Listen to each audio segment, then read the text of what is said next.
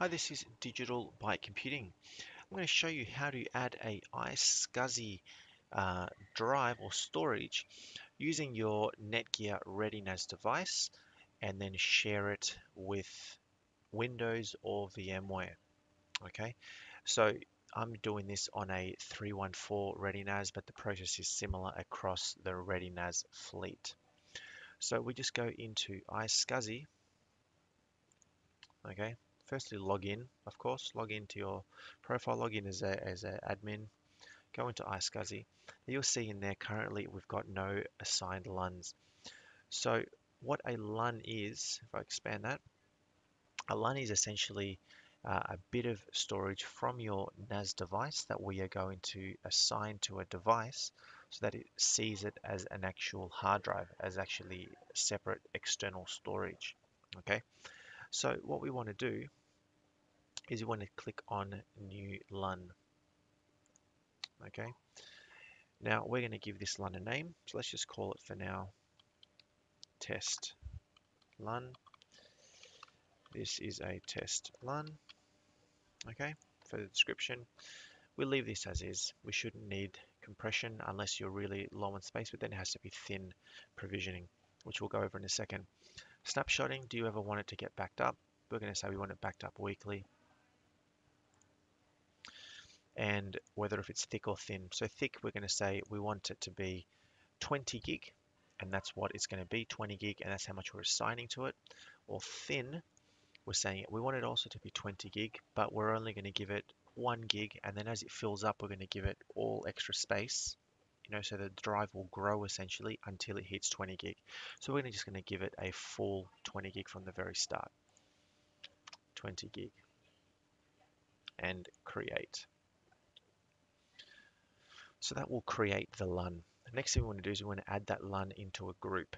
Okay, so what you can do is you can create multiple LUNs in here, which will appear as multiple hard drives or multiple storage on a device. So then we say new group, and we'll call it test group.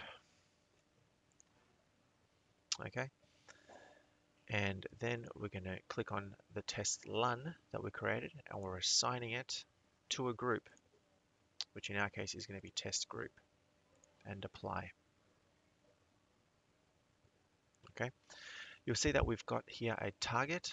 This is a essentially a IQN number, so it's going to be unique to this group. So if we select it and we click on settings, okay, that's the the LUN settings.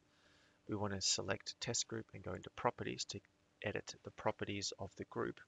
Now here you'll see that there's a target IQN number. So this is essentially a unique number that once we've set this up, it'll broadcast onto your network and other devices that have got iSCSI um, cards. So for example, on Windows, an iSCSI initiator, or in um, VMware, you can actually add an iSCSI um, storage adapter to actually detect iSCSI storage. As long as everything's on your network, it should pick it up automatically.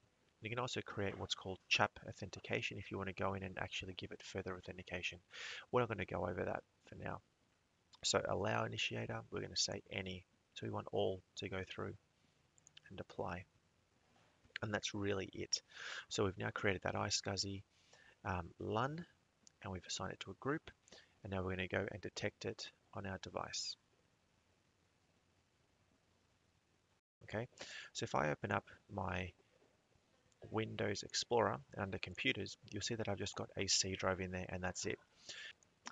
So first thing we're going to do is we're going to open up control panel. Okay, start control panel. And in here we've got an iSCSI initiator. Now I've already run this before, so you'll see that I've got two detected. This is a IQN number. So this is essentially going to be a unique number for a particular, in my case, a LUN on a uh, NAS device.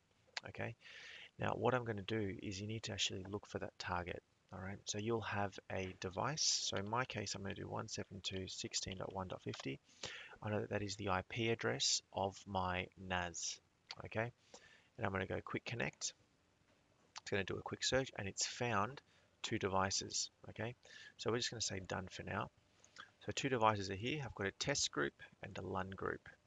Okay, now I know for a fact that the test group is the one that I've got active and the one that I want to use on this Windows server. So I'm going to select it and say connect. Okay, I'm going to leave that as default and OK. And that is connected. That's the first good sign. If you do get a message like this one,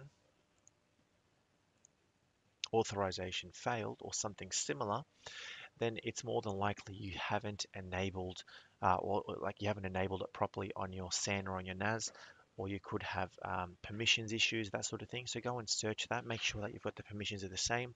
If you're using AD, that the authentication is the same, that you're using same username and password across your devices as well. If when you go to target and you click quick connect and nothing shows up, it could be that you've got some issue on your network somewhere. So what you want to do is you want to ensure that your storage and your computer are on the same IP range, same subnet range. Um, if they're on DHCP, make sure that they're on the same range, detecting the same range of the IP. Okay, so in my case, 172.116, 172.16, sorry, 1 dot whatever. Okay, and I know my storage and my server are both on the same network. So that's been detected. Okay, that's the first step. So now Windows knows that there's some sort of device trying to connect to it. So that's it on that side. Okay, iSCSI initiator. Next we want to do is we now add the drive. So if we go into Windows Explorer again, you'll see that it just has a C drive. So we want to go Start, right click on Computer, and we want to go into Manage. Okay. Okay, let's just go one step back. So you want to navigate to Storage and Disk Management. Now you may get a message saying that it's detected a device, which you saw before. Just say OK to that if it's the case. If you, don't get a message, it's OK. But what you'll see, it's now actually found some sort of a device that is 20 gig. Okay, that is actually the LUN size that I've created on my NAS to be 20 gig. Okay, so all I do is I right click and say initialize my disk. I want it to be an MBR disk one. Okay, and that's it, it's found it. And now I right click and I want to create a new simple volume. I'm going to go through 20 gig, assign it a drive letter, format it in NTFS, quick format, etc and finish. Just going to format that drive. And if all things go well, we should now have an additional 20 gigabyte drive on Windows. So we'll now finish, should say healthy primary partition. If I close out of that, inside here now, I've now got a new drive. So according to Windows, Windows doesn't know any better. Windows thinks that it's just a drive that's attached to it directly, but because we've got the iSCSI initiator, you're actually bypassing the local storage there, and it's looking out on the network and finding there's an iSCSI drive, which in our case is a LUN on the NAS. So that is it. You can now use that drive as normal attached storage, uh, add stuff to it, and you're good to go. So I hope you found this video helpful. If you did, give me a thumbs up and subscribe to my channel, Digital Byte Computing. Thanks.